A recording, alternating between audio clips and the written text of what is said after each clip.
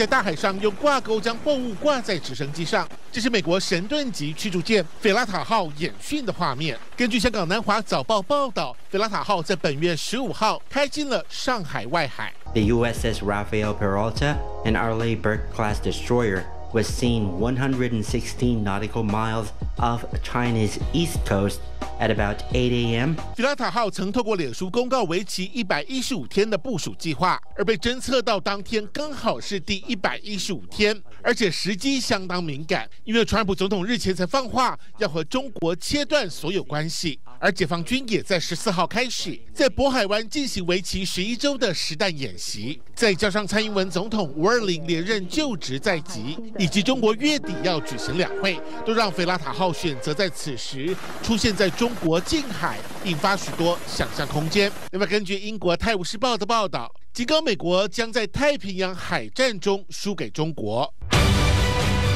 美国国防部一系列代号为“大开眼界”的兵棋推演显示，美国将在海战上被解放军击败，而且要很费力才能阻止中国大陆侵略台湾。因为中方累积的中程弹道飞弹，已经使得美军印太司令部辖区内各个基地和航母打击群难以抵挡压倒性的攻击，包括关岛的 B-2 幽灵和 B-52 同温层堡垒轰炸机基地，都会处于危险之中。美国智库战略暨国际研究中心的资深顾问葛莱伊证实了这项兵推结果。他同时指出，中美之间最不稳定的问题就是台湾，可能会升级为战争，甚至引发核战。为了应中国军力威胁，五角大厦正准备改变战略，将研发更多高超音速武器，并在亚太地区部署更多远程及地面发射的巡弋飞弹。东森新闻邱少瑞、钟成杰报道。